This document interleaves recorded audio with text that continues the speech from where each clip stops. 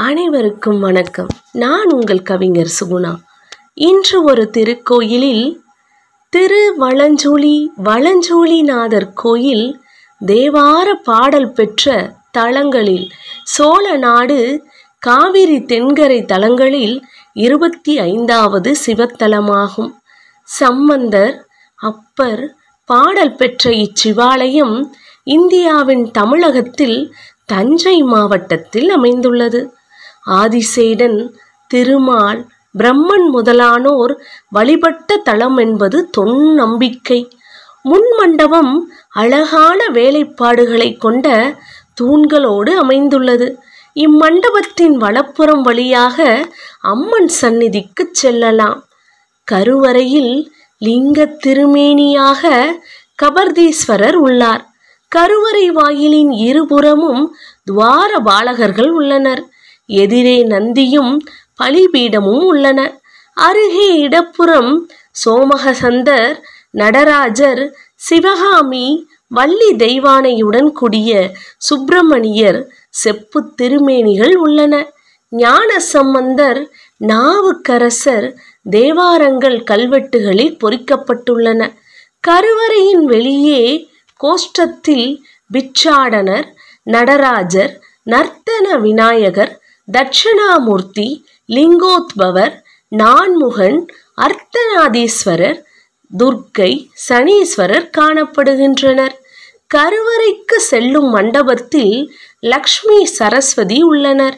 முன் மண்டபம் தொடங்கி கருவறையை சுற்றியுள்ள பிரகாரத்தில் பாலமுருகன் முப்பத்தி இரண்டு வகையான லிங்க பானங்கள் நான்கு விநாயகர்கள் சந்தான ஆசாரியார் மகாவிஷ்ணு துர்க்கை பிராமி மகேஸ்வரி கௌமாரி வராகி இந்திராணி சாமுண்டி விநாயகர் வளஞ்சுழி விநாயகர் வள்ளி தெய்வானையுடன் கூடிய சுப்பிரமணியர் வள்ளி தெய்வானையுடன் கூடிய ஆறுமுகக் கடவுள் கஜலக்ஷ்மி இருபத்திரண்டு வகையான லிங்கங்கள் தபஸ் நாச்சியார் உள்ளனர்.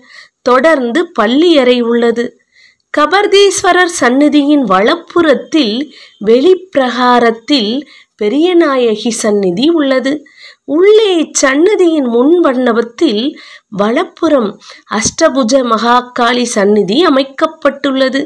ஆதிசேஷன் வெளிப்பட்ட பள்ளத்தில் காவிரியாறு பாய்ந்து பிளத்தினுள் அழுந்தியது.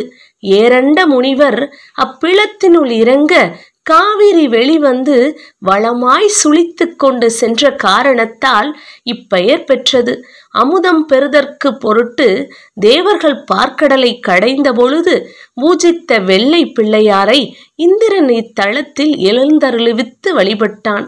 திருவிடை மருதூரானது மகாலிங்க தலமாக விளங்க அதற்குரிய பரிவார தலங்களுள் இது. விநாயகர் தலம் இங்குள்ள வெள்ளை பிள்ளையார் கோவில் மிகச் சிறப்பானது. மிகவும் வேலைப்பாடுடையது. சோழர் கால கல்வெட்டுகள் உள்ளன.